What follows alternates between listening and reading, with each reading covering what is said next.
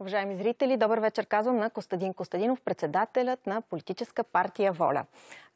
Воля. Възраждане, моля ви се. Възраждане, извинете, простете ми. Да. Грешката, нищо. Вижте, почнахме с точка за вас, с корекция да, да. За, за мен. Кажете ми, защо трябва избирателите да подкрепят партия Възраждане? Защото Възраждане е организация, която се различава от всички